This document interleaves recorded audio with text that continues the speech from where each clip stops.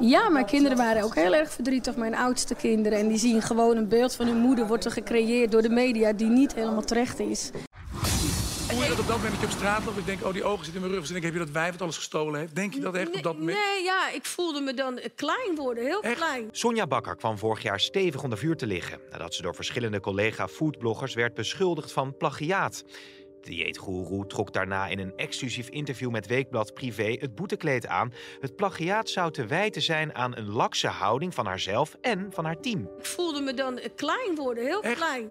Na een korte break pakte Sonja vorig jaar al vrij snel de draad weer op. Maar rustig bleef het niet lang in Huizenbakker, want begin deze maand werd ze opnieuw beschuldigd van plagiaat. Ditmaal door de Food Sisters. Je had een mega klap voor je bek gehad. Ja, ik, ik was ook gewoon boos. Ik heb op een gegeven moment de telefoon gegooid van rot allemaal maar op. Ik heb geen zin in meer in. Zaterdag doorbreekt Sonja na maanden schuilen in haar huis dan eindelijk het stilzwijgen. Aan de piano bij Jeroen van der Boom doet ze één keer op tv haar kant van het verhaal. Sonja, tijdje niet meer gezien, ook niet in talkshows. Ja. En nu in hoge bomen. Waarom heb je ja gezegd? Nou, ik heb ja gezegd tegen Jeroen, omdat ik het een heel positief eh, programma vind. Maar ook gewoon dus met beide kanten belicht. En ze hebben gewoon goed hun huiswerk gedaan. Ze hebben drie maanden research gedaan naar de persoon Sonja. En toen dacht ik, dan mag jij mij vragen wat je wilt. Dan heb je je huiswerk goed gedaan. Het is een soort van in de hoofdrol. Hè. Je zet mensen ook een beetje in het zonnetje. Ja. Als ik daar één vraag over mag stellen. We- Sonja hebben we inderdaad in de media gezien. Ligt een beetje onder vuur vanwege die plagiaatspel. Is dit dan het moment om haar daadwerkelijk hier in het zonnetje te zetten? Eh, ja, want ik kijk vaak naar de langere geschiedenis. Eh, ik, kijk, ik kijk vaak naar eh, wat ik interessant vind. En dat is denk ik wat de kijker... Want ook daarom kom jij hier nu vandaag. En daarom vraag je het ook. Dus dat is al een, dat is al een trigger Ja. om iemand nu juist wel te hebben. Kijk, Sonja is een, een, een hele eh, eh, bijzondere vrouw die eh, met niets begonnen is. Ehm, die eh, vanuit een passie eh, dit is gaan doen. Een enorm imperium heeft opgebouwd. Ehm, en vertelt haar verhaal. Heeft een enorme knauw gekregen. eh, eh, eh, is teleurgesteld. Eh, In ook- zichzelf? Of nou, ik denk ook met hoe er met haar omgegaan is.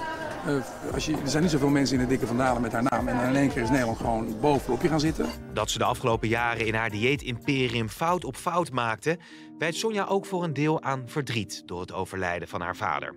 Na een slopend ziekbed moest ze daar in de zomer van 2020 afscheid van nemen. Wat raakte je dan de afgelopen periode het, het allerdiepst? Wat, kun je daar iets, wil je daar iets over Eh, kwijt? nou ja, wij hebben natuurlijk mijn vader verloren. Dat was een hele zware, eh, ja, dat is mijn allerbeste vriend. En dat weet iedereen ook wel inmiddels. Maar het was heel zwaar en vooral daarna was het zwaar. Dus ik had het heel anders ingeschat. Ik dacht, ja, we hebben natuurlijk een jaar lang eh, ja, begeleid naar zijn dood, om het zo maar te zeggen, en verzorgd.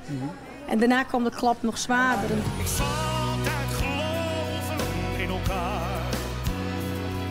En ik sta naar jou met dreigen van gevaar.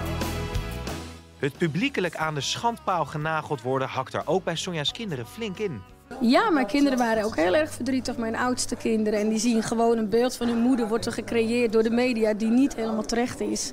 En die te zwart-wit wordt. Dus ja, dat zijn ook pubers. En eh, daar gaan ook vragen. En die kinderen gaan ook op Google kijken. En dan is het niet meer leuk voor een kind in de puberteit. Was het dan moeilijk om naar school te gaan?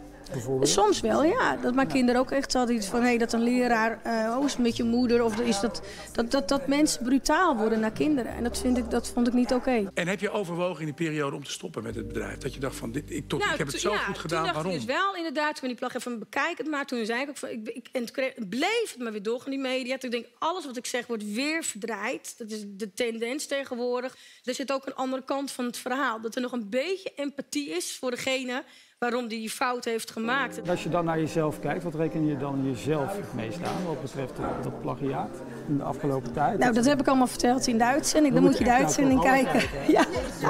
Denk je dat we na de uitzending een ander beeld van haar hebben? Ja, dat denk ik wel. Weet ik 100% zeker.